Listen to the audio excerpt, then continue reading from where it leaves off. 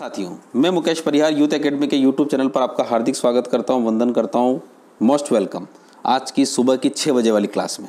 तो छः बजे वाली क्लास में हम पढ़ रहे हैं एंटोनिम्स सिनोनिम्स तीन वर्ड लेंगे, उसके सिनोनिम्स और एंटोनिम्स पढ़ेंगे, उसका इंग्लिश मीनिंग पढ़ेंगे and one word substitution for five words okay तो let's start with energy with enthusiasm have a nice day okay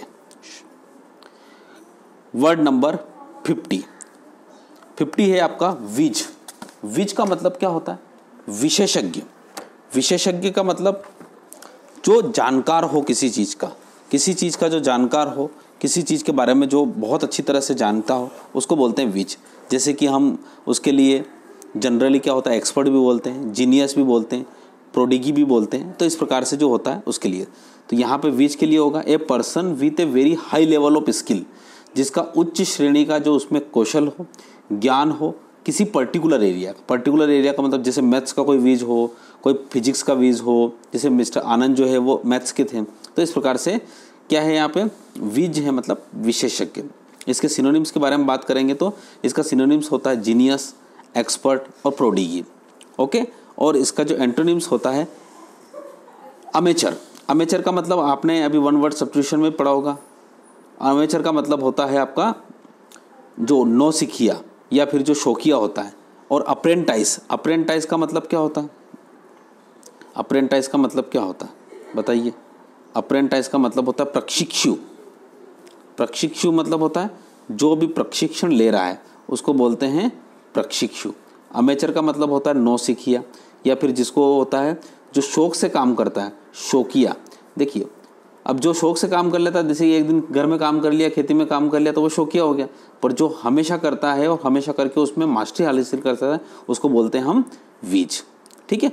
यहाँ पे अपने जीनियस एक्सपर्ट और प्रोडिगी और इसके बाद इसका जो सेंटेंस है ही इज़ ए वीज ऑफ़ मैथमेटिक्स यानी नाउन के रूप में तो वह मैथमेटिक्स का विशेषज्ञ है, वह फिजिक्स का विशेषज्ञ है, वो बोलने का विशेषज्ञ है। तो इस प्रकार से विशेषज्ञ जो बारे में बात करते हैं, हम तो ठीक है?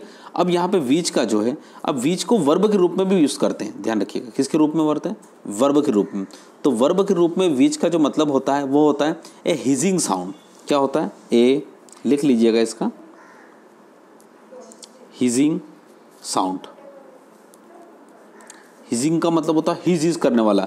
जैसे सांप हिज करता है ना तो इसको हिंदी में बोलते हैं सन सन की आवाज़। क्या आवाज़ होती है? सन सन की आवाज़। जैसे कि आपके सामने कोई गाड़ी जा रही है, जैसे किसी ने आपके यहाँ पे पत्थर फेंका और पत्थर आपके कान के वहाँ से निकल गया तो शू करके निकला वो तो शू करके जो निकला रहता है, उसको बोलते हैं सन सन की आवाज़। तो क्या होता है? सन, जैसे ए स्टोन पास्ड है ना? With a sound of whiz, यानी विज के साउंड से वो निकला। विज मतलब सन्न करके निकला। तो विज का मतलब क्या होता है? सन सन करके जो आवाज़ होती है, उसको बोलते हैं, विज बोलते हैं। तो ठीक है? तो विज का मतलब होता है to make a to make a hissing sound मतलब क्या होता है सन सन की जो आवाज़ करता है लाइक एन एरो एरो का मतलब होता है तीर की जैसी. जैसे अभी तीर बोलते हैं ना शू करके जो तीर छोड़ते हैं, उस प्रकार से जो आवाज़ होती है, उसको बोलते हैं विज. विज मीन्स विशेषज्ञ. विज मतलब विशेषज्ञ होता है और वर्ब के रूप में होता है, इसका मतलब होता है सन सन की आवाज़ करना. चलिए, हम अगले वर्ड की तरफ़ बढ़ते हैं.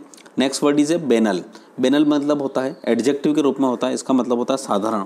साधारण का मतलब होता है बोरिंग बोरिंग का मतलब बोरिंग होता है। जैसे कि यहाँ पे होता है बोरिंग ऑर्डनरी या नॉट ओरिजिनल यानी बिल्कुल एकदम जो है, जैसे बेनल बॉय भी बोल सकते हैं, साधारण लड़का भी बोल सकते हैं। बेनल पिक्चर भी बोल सकते हैं, बेनल सिर भी बोल सकते हैं, बेनल मूवी भी बोल सकते हैं। तो यहाँ पे क्या होता है, इस प्रकार की जो चीज़ें होती है, बेनल सीन ठीक है, आगे चलते हैं हम। इसके सिनोनिम्स की तरफ़ ordinary common general insignificant usual है ना? और इस प्रकार की जो चीज़ें होती है, वो सिनोनिम्स मतलब बिल्कुल एकदम साधारण से रूप में से। तो ये general insignificant usual common ordinary ये सारे क्या है? सिनोनिम्स है इसके। और एंटोनिम से इसका क्या होगा? न्यू एंटोनिम से इसका क्या होगा? देखिए, इसका एंटोनिम्स होगा न्यू और ओरिजिनल और इसका यूज़ होगा the stories of the latest movies, यानी अभी जो हाल ही में जो मूवीज़ आती है और उनकी जो कहानियाँ हैं, वो बड़ी साधारण होती है। कुछ भी समझ में नहीं आता, बहुत से देखो, कुछ कुछ कहानियाँ बहुत अच्छी होती है, पर हमारे यहाँ पे जो लेटेस्ट मूवीज़ जितनी भी आती है, दस में से सात आठ मूवी की तो जो स्टोरी होती है बड़ी बेनल होती है, बड़ी साधारण होती है। ठीक है? तो यहाँ पर आपने बेनल पढ़ा। नेक्स्ट वर्ड हम पढ़ते हैं होंचो होंचो का मतलब क्या होता है? प्रमुख, यानी meaning the person in charge जैसे होंचो बाय प्रमुख लड़का होंचो चीफ होंचो मतलब प्रमुख होंचो किंग, प्रमुख राजा। तो इस प्रकार से होंचो का मतलब क्या होता है? द पर्सन इन चार्ज जो क्या चार्ज लेके रहता है, जो उसको बोलते हैं होंचो।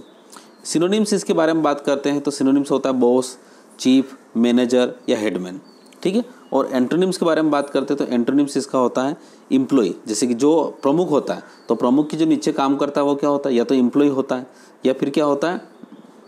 वर्कर होता है। और इसका सेंटेंस है he is definitely the honcho in that company देखिए, एक आदमी है, ये आदमी, ठीक है? एक पार्टी चल रही है, और पार्टी में क्या होता है, सब लोग उससे आके हाथ मिला रहे हैं, और सब इस प्रकार से कर रहे हैं। एक आदमी जो आज आया, और उस कंपनी के बारे में जानता नहीं कुछ भी तो वो देख के बता सकता है कि is definitely the honcho in that company यानी ये कंपनी का क्या है?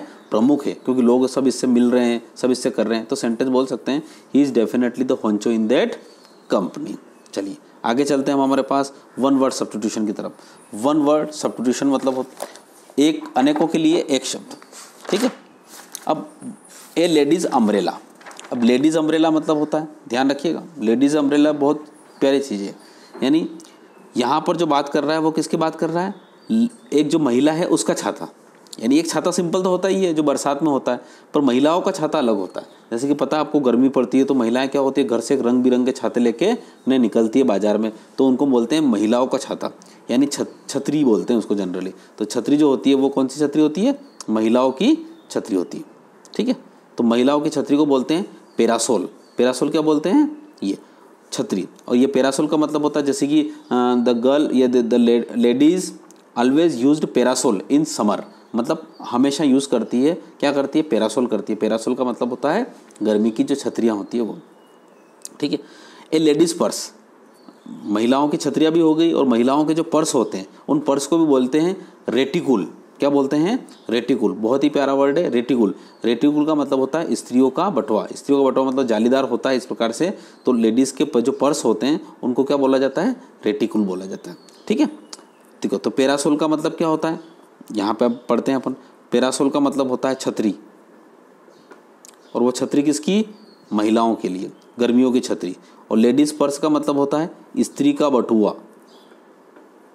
स्त्री का बटुआ। ठीक है? रेटिकुल हो गया। अब आगे बात करते हैं the passage of soul after death from one body to other passage of soul passage का मतलब होता है कुछ जगह। है ना? ऑफ़ साउल मतलब जो आत्मा के लिए कुछ जगह होती है after death from one body to other यानी आत्मा जब एक शरीर से निकल कर दूसरे शरीर में जाती है तो वो जो जगह होती है, उस जगह को क्या बोला जाता है? तो उस जगह को बोला जाता है, बहुत ही प्यारा वर्ड है ये भी। क्या बोला जाता है उसको? ट्रांसमिग्रेशन ट्रांसमिग्रेशन ध्यान रखिएगा ट्रांसमिग्रेशन हिंदी में इसका अर्थ होता है, स्थाना तरगमन स्थानांतरण गमन। तो ये स्थानांतरण गमन जो होता है, उसका मतलब होता है जब आदमी मर गया, मरने के बाद उसका आत्मा शरीर छोड़ने के बाद किसी दूसरे शरीर में जाती है तो जब ये जो पैसेज होता है, जब वो खाली स्थान होता है, उसको हम बोलते हैं स्थानांतर गमन। ठीक है? आगे चलते हैं हम हमारे वर्ड की तरफ़। Medical examination of the dead body कोई एक मृत शरीर है, उसका अगर कोई मेडिकल एग्जामिनेशन कर रहा है, चिकित्सा को कोई निरीक्षण कर रहा है तो उसको क्या बोलते हैं?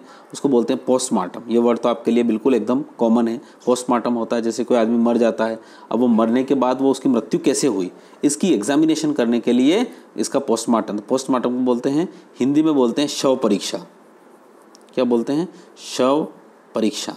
यानी कोई मुर्दा होता है, मर गया मतलब मुर्दा, और उस मुर्दा की जो परीक्षा की जाती है, परीक्षण किया जाता है, उसको बोलते हैं हम पोस्टमार्टम ठीक है? अब आगे चलते हैं हम हमारे पास 90 डेविएशन और departure from common route deviation का मतलब होता है पथभ्रष्ट हो जाना। जैसे ये एक रास्ता है है ना? ये एक रास्ता है। उस रास्ते में क्या होता है? आपको चलना इधर है, ये रास्ता है। पर आप चल इधर रहे हैं तो ये क्या हो रहा है? डेविएशन हो रहा है। ये डिपार्चर डिपार्चर का मतलब होता है वहाँ से रवाना हो जाना। From common rule common rule का मतलब होता है, जो एक रूल बना रखा है सरकार ने या कुछ ने ये रूल बना रखा है। जैसे कि थोड़ी देर के लिए रूल बना रखा है। इस रूल को न चलकर इसको डेविएशन कर देना। जैसे सरकार बोलती है कि ये है ना पैदल चलने वाले लोगों के लिए तो पैदल चलने के बजाय आप क्या करते हैं? जहाँ पर ट्रकें दौड़ रही है, वहाँ पर चलते हैं। और स्टैंडर्ड और वाट इज़ नॉर्मल यानी जहाँ पर रूल बनाए गए हैं, उन रूल को पालन न करना। पालन नहीं करके उसको क्या करना? उसको डेविएशन करना, उसको तोड़ना।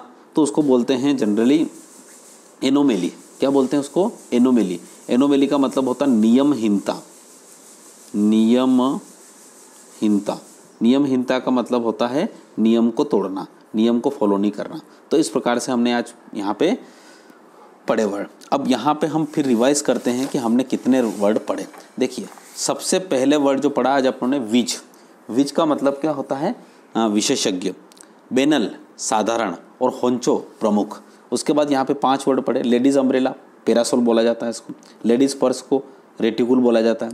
The passage of soul after death from one body to other transmigration बोला जाता है। और medical examination of the dead body postmortem और एनोमेली जो होता है, उसका मतलब होता है जो स्टैंडर्ड रूल को क्या करे, या नॉर्मल रूप से रूल को क्या है, पालन नहीं करे डिपार्च करे, उससे भाग जाए। तो एनोमली बोला जाता है। ठीक है, नियमहीनता। अब यहाँ पे जो आपके टेस्ट की बात करते हैं टेस्ट यूर सेल्फ ठीक है? पिछला जो भी पढ़ाया हुआ है, उसके बारे में। तो have you noted down the previous vocabularies in your copy and learn क्या आपने पिछली सारी वोकेबलरीज को अपनी कॉपी में लिखा और क्या उनको याद कर लिया? If yes then please answer the question given below अगर हाँ है तो नीचे दिए गए क्वेश्चन का जवाब दीजिए। ठीक है? If no then go through previous vocabs और अगर हाँ नो है तो आप क्या करिए? जाइए और पिछली सारी वोकेब्स को लेक्चर को पढ़िए और उसके बाद इन क्वेश्चन का जवाब दीजिए। ठीक है? अब क्वेश्चन नंबर यहाँ पे पाँच है। Antonyms of the word scooper scooper के एंटोनाइम्स लिखिए।